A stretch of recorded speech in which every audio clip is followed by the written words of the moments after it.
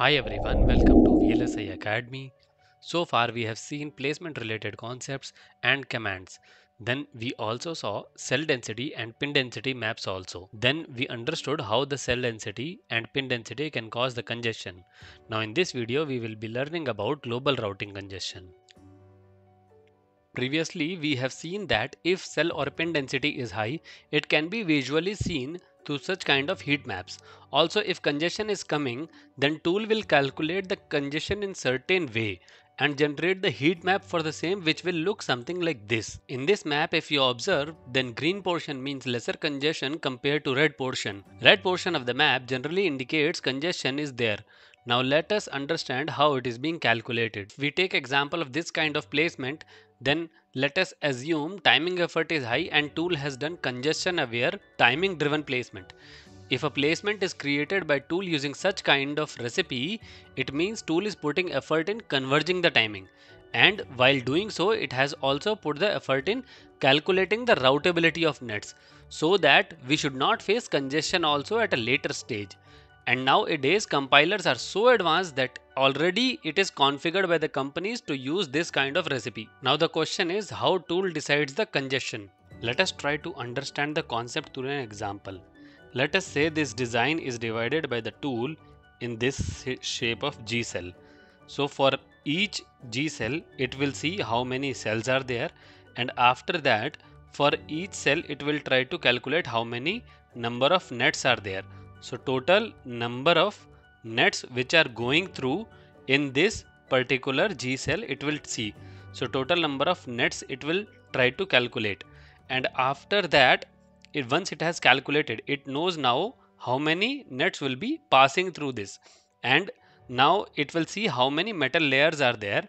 And based on each metal layer so let's say if you have six metal layers so if you have metal layers count is your six in this case what will happen is you will have horizontal 3 and vertical 3 layers. Let us assume that your m1 is horizontal so your m2 will be vertical and then m3 will be horizontal m4 will be vertical and m5 will be horizontal and m6 will be vertical. These are your horizontal metal layers and these will be vertical metal layers. So let's say there are 25 nets which are going in total in this particular cell G cell. So let's say out of that 25, let's say you have in this direction that is vertical direction. So vertical means you have M2, M4 and M6 in this direction like this and your routes will be going in horizontal direction like this. So M1, M3 and M5 will be going like this and let's say out of this 25 nets which are going through this particular G cell you have 8 nets going in horizontal and you have 17 nets going in vertical net vertical direction. In placement stage while doing the global routing tool would have assigned the layers to different nets. So how the layer assignment for different nets would have done in the placement is let's say you have 7 nets in m2 and let's say 6 nets in M4 and you have let's say around 4 nets in M6. So this is your layer assignment that has happened in the placement stage. Now please note that this is what is done by the tool while doing the layer assignment. So we can say that this is what tool is demanding. So our demand of nets is that we should have 7 nets in M2, 4, 6 nets in M4 and 4 nets in M6. This is our demand for a perfect routing without any shorts or any issues. But let's say that supply is different. So let's say supply we mention like this. So let's say if you have supply of 4 nets in M2 and 3 nets in M4 and 3 nets in M6. So if you have supply like this and demand like in white color and supply in your green color in that case what will happen is you can see that the nets are actually having more demand than the supply and you will have an overflow.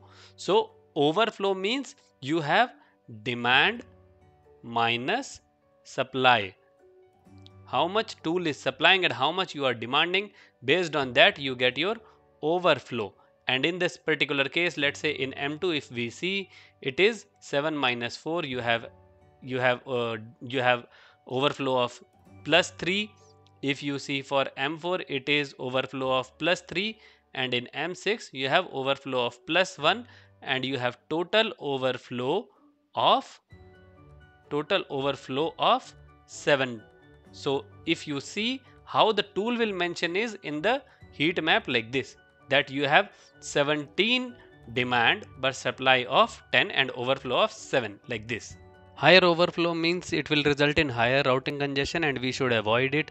That is all for this video. We will come up with more concepts in further videos and we hope that you like the content. Please do like, share and subscribe to the channel. Thank you.